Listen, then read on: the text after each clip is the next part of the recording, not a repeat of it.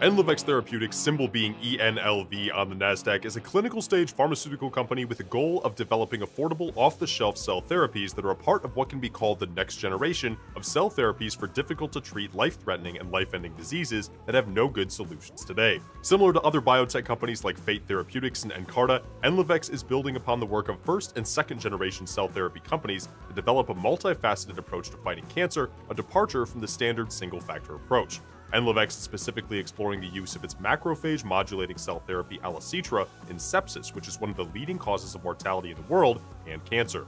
In some sepsis patients, proper macrophage response to a bacterial infection leads to an easy recovery. In others, the macrophage response may get turned up too high and instigate an overall immune system attack on otherwise healthy organs, leading to organ dysfunction, organ failure, and patient mortality. Enlivex is exploring the use of macrophage modulation to reverse the negative immune attacks leading to organ failures associated with sepsis, a $33 billion target market for the company.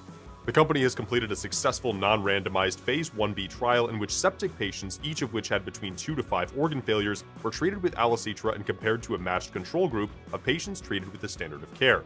In patients treated with Allocetra, 100% of failed organs returned to normal function and all were released from the hospital versus 27% mortality in matched control patients and an additional 33% who did not die yet still had organ failures on day 28. The company initiated a phase 2 trial in sepsis and intends to publish top-line results from the study in Q3 2023. If the phase 2 outcomes end up resembling the phase 1b outcomes, the company will seek EU conditional marketing approval, followed by discussions within the FDA to obtain accelerated approval in the US. In addition to sepsis, macrophage modulation has significant prospects in cancer therapy. In preclinical studies of Allocetra across three different aggressive cancers, and in combination with three different anti-cancer drugs, the combination treatment outcomes were astonishing. At the American Society of Clinical Oncology 2022 annual meeting, Enlivex announced preclinical data from an ovarian cancer study conducted in collaboration with the Yale Cancer Center, showing a substantial survival benefit when Allocetra was combined with PD-1 checkpoint inhibition, which is considered one of the most effective anti-cancer drugs available, but has low efficacy against ovarian cancer. These phenomenal results added to the company's presentation at the International Society for Cell and Gene Therapy annual meeting in which a similarly profound synergistic effect was observed in mice with a different cancer, mesothelioma, one of the deadliest forms of cancer, and in combination with an anti-CTLA-4 drug. While approved by the FDA, the anti-CTLA-4 drug has low efficacy as a standalone therapy. In contrast, results of Enlivex's preclinical study showed that combining the two agents led up to 100% survival versus 25 to 28.5% survival when mice were treated with either agent alone. To go a bit deeper into the science that powers Enlivex and Allocetra, macrophages are immune cells that can be thought of as a sort of volume control knob of the immune system. According to cancer.gov, macrophages work by surrounding and killing microorganisms, removing dead cells, and stimulating the action of other important immune system cells. With Allocetra, Enlivex is able to modulate macrophage responses. In sepsis, Allocetra is intended to rebalance the immune system when macrophages appear to have an exaggerated response to the presence of a pathogen. In the oncology vertical, Enlivex is exploring what takes place when macrophages are non-responsive in the solid tumor microenvironment.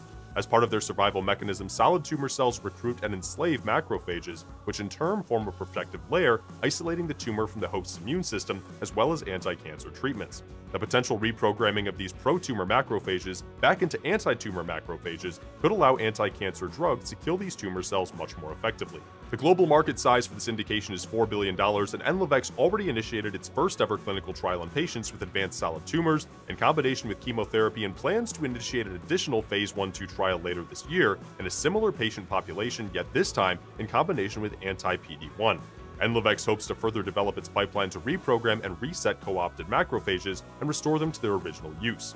The Enlivex leadership team has a stellar track record as well. Shai Novik, its executive chairman, founded Prolor Biotech in 2005 and sold it to OPKO Health in 2013 in a $560 million transaction. He also executed a mega strategic partnership with Pfizer for Prolor's lead drug product, a long-acting growth hormone named Ngenla, for the treatment of children with growth hormone deficiency, and Ngenla recently received marketing approvals worldwide, including in Australia, Canada, Japan, and Europe. The company's recently appointed vice chairman, Dr. Roger Pomerantz, was previously head of infectious diseases at Johnson & Johnson and head of business development at one of the world's largest drug companies, Merck, where he executed more than 150 business development deals. He then joined Flagship Pioneering, one of the world's leading life sciences investment funds, which founded Moderna and many other successful companies. CEO Oren Hershkovitz was vice president of R&D at Prolor Biotech and instrumental in assisting Pfizer with its phase 3s of Ngenla. To stay updated on Enlivex's progress, visit enlivex.com to sign up for their mailing list and learn more about the company.